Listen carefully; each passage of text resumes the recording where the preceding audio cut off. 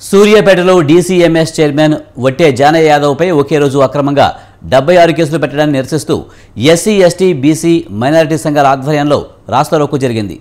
జానయ్యపై పెట్టిన అక్రమ కేసులు ఎత్తివేయాలంటూ ఖమ్మం రాపర్తి నగర్ బ్రిడ్జిపై రాస్తారోకో చేశారు. దీంతో ట్రాఫిక్ భారీగా స్తంభించింది. ఈ కార్యక్రమంలో ఖమ్మం జిల్లా యాదవ్ సంఘం అధ్యక్షుడు మన్సూర్ నాయకులు పాల్గొన్నారు. యాదవులపై పెట్టిన అక్రమ కేసులు ఎత్తివేయాలని డిమాండ్ చేశారు.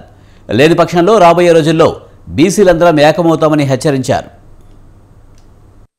మైనారిటీ సంఘాలన్నీ కూడా సూర్యాపేటలో డీసీఎంఎస్ చైర్మన్గా ఉంటూ పేద ప్రజలకి సేవ చేస్తూ ఇవాళ మంత్రి అయినటువంటి జగదీశ్వర్ రెడ్డికి కూడా అనుచరులుగా ఉండి ఆయన గెలిపించి ఇవాళ రాజ్యాధికారంలో బీసీల వాటా మైనారిటీల వాటా అడిగినందుకు ఇతను ఎక్కడ నా మీదకి వస్తాడో అని చెప్పేసి అక్రమంగా ఒకే రోజు డెబ్బై ఆరు కేసులు పెట్టి పీడీ యాక్ట్ పెట్టి ప్రశ్నించేటువంటి గొంతుని అనగదొక్కాలని చూసేటువంటి చర్యను నిరసిస్తూ ఈరోజు ఖమ్మం రాపర్తి నగర్